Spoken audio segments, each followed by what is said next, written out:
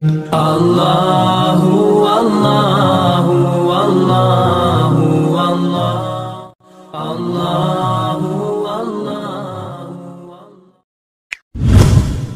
Allahu Allahu Allahu Allah Ketika di akhirat kelak apabila apa- apabila timbangan amal kita lebih berat daripada dosa kita, apakah kita tetap akan dihisap, eh, diazab? Apabila timbangan amal kita lebih berat daripada dosa kita, maksudnya pahala ya? Tentu saja tidak. Tentu saja tidak. Jadi am- eh, di hari kiamat itu ada beberapa tingkatan. Ada orang yang lolos tanpa timbangan ke surga. Ini orang-orang masuk surga tanpa hisap. Golongannya adalah para nabi-nabi, para syuhada, ya orang-orang mati syahid, orang-orang yang memang Allah pilih khusus dari orang-orang siddiq, orang-orang yang banyak cobaannya di dunia, kemudian dia bersabar. Sebagaimana sabda Nabi SAW, seorang mukmin diuji oleh Allah di dirinya, di hartanya dan keluarganya sampai dia bertemu dengan Allah tidak tertinggal satupun dosanya. Ini semua orang-orang yang masuk surga tanpa hisap, nggak ada timbangan lagi. Dia lewat aja, gitu kan. Ada orang yang ditimbang dulu amalnya. Ditimbang amalnya ini adalah orang-orang beriman tapi masih bermaksiat.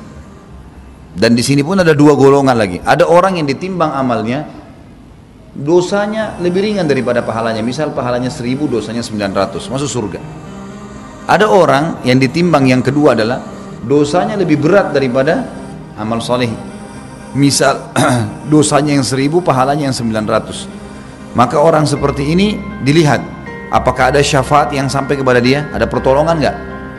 Misal ada kerabatnya yang kebetulan lolos punya nilai 100 pahala lolos. Dia Allah berikan dia sesuai dengan kadar pahala itu untuk memberikan syafaat pada orang ini. Dia bantu dengan 100 misalnya, maka menjadi 1000 1000. Dia masih butuh mungkin satu pahala saja untuk melebihkan dari dosanya. Maka ini juga orang lolos asal tetap amal soleh lebih berat. Tapi kalau nggak ada yang bantu dia, maka ini masuk neraka dulu. Masuk neraka dulu karena dosanya lebih berat daripada amal solehnya. Golongan yang ketiga adalah tidak ditimbang juga amalnya, tapi langsung masuk neraka. Ini orang kafir, munafik dan orang musyrik. Ini juga nggak pakai timbangan. Bahkan sementara orang-orang beriman ditimbang amalnya, mereka sudah langsung dilemparin ke neraka karena nggak ada gunanya. Nggak ada gunanya dari amal-amal mereka. Sebagaimana hadis Bukhari Aisyah bertanya radhiyallahu anha kepada Nabi SAW tentang satu orang Arab Quraisy yang sangat terkenal sekali eh, dengan eh, dengan kebaikannya lah silaturahim keluarganya, sodakahnya, bantu orang dan seterusnya. Tapi tidak pernah beriman kepada Allah. Kata Aisyah ya Rasulullah bermanfaat nggak amalnya? Kata Nabi SAW tidak sama sekali. Karena dia tidak pernah beriman kepada Allah. Jadi sebanyak apa pun amal orang kafir nggak ada manfaat buat dia. Jadi kalau amal soleh antum lebih berat, maka masuk surga. Walaupun ada dosanya. Itu tapi nasib-nasiban, gitu kan. Makanya kita, kita tidak tahu soalnya kadar dosa kita, kadar pahala kita kita tidak pernah tahu. Makanya langsung perbanyak istighfar, perbanyak taubat. Nabi SAW mengatakan saya taubat setiap hari 70 sampai 100 kali. Jadi kita perbanyak taubat, jangan membawa dosa di akhirat. Kalau perlu mohon kepada Allah agar ya Allah jangan meninggalkan saya di muka bumi ini kecuali engkau sudah catatkan aku termasuk hamba-hambamu yang masuk surga tanpa hisab. Kita berdoa kepada Allah SWT.